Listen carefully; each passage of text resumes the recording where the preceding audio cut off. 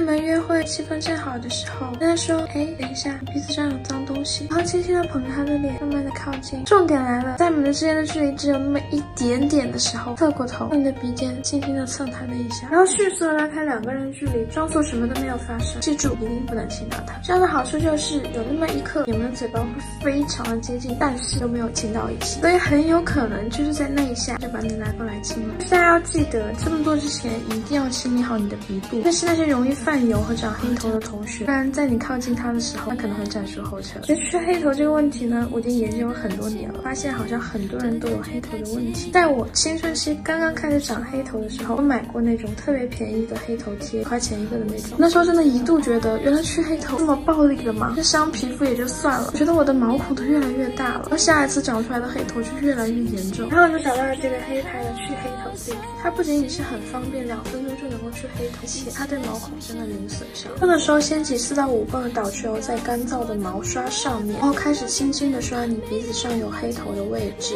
大概一分钟之后，鼻子不要洗，然后刷子也不要洗，用这个二号固态水挤到毛刷上面刷原来的位置，你就会发现这边慢慢的乳化了。而一般我还会搭配他们家的洗面奶，专门去做鼻部的清洁，这样就不会出现传统的那种毛孔越来越大的情况。然后你每周刷一到两次就好了，不要太多。真的有黑头的快点去搞吧，刷完黑头赶紧约会。